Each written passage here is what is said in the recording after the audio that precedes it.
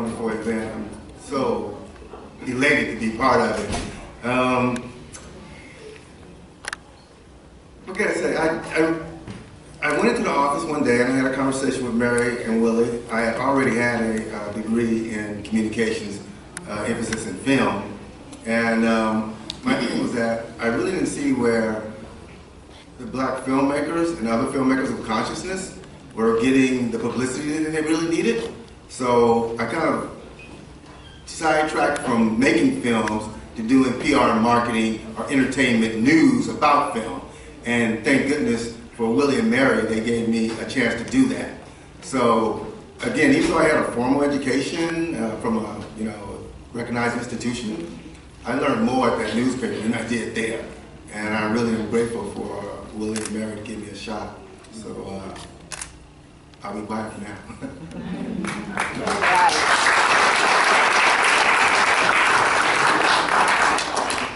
I began writing for the newspaper when I was about 17 years old. Who are you?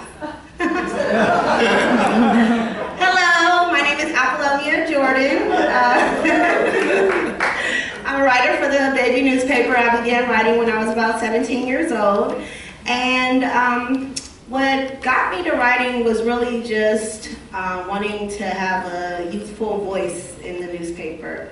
Um, we would often see the paper um, at our doorstep and uh, wouldn't really check the paper out. And I also um, got involved with the newspaper through a youth movement program. It was actually an internship that I did for the newspaper and started writing about my experience um, in the foster care system as well as some issues as a young uh, youth growing up in the Hunters Point neighborhood. And um, that's how I got started and I never left.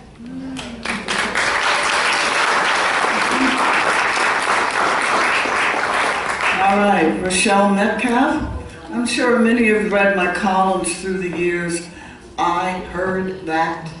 And I wrote a lot about social acti- activities and other events. But uh, Mary asked me to join the paper because they wanted to get a little social uh, uh, edge into the paper about Third Street and whatever else I may would want to write about. So I said, hey, that'd be cool. And as you know, Third Street, we need a lot of publicity to get the street moving.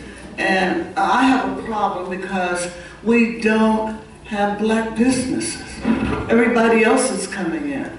And as you know, Third Street now goes a long way, all the way down to the uh, uh, African American uh, cultural, it's not the cultural center, uh, the diaspora uh, down there on Third, near Mission, right, MoAD, right.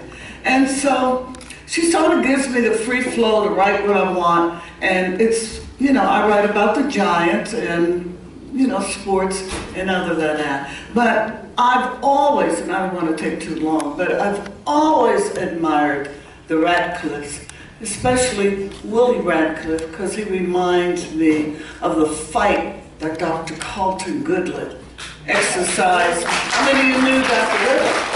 Yeah.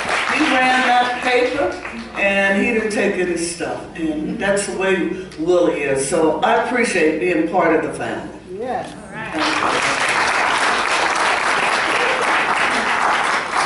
Uh, my name is Davey D. I um, first get really recall getting introduced to the Bayview um, through Lee Hubbard when he was writing. And what I think caught my attention, because I had already been writing, was seeing a newspaper um, that was doing this intersection between politics, social justice, and hip hop. In other words, bringing a cultural bent to it that made it relatable.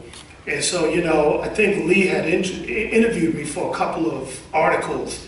And so naturally, that's how I started reading it. And then, because I was already writing, uh, you know, you know, they would run some of my articles in the paper, which was also good in the sense that here you had a professional looking uh, type of publication where you're writing, which was at that time online or every once in a while in, in a magazine, but now you, there was a consistent place that it could be at, un, um, unwatered down, undiluted, and just really, you know, able to say what you needed to say without uh, uh, being compromised. So that's really my introduction to the Bayview.